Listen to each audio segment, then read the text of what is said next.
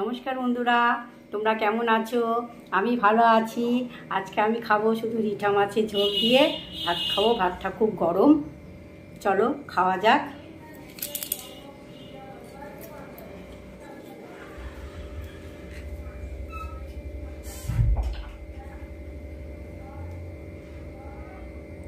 ধনে পাতিতে পড়েছে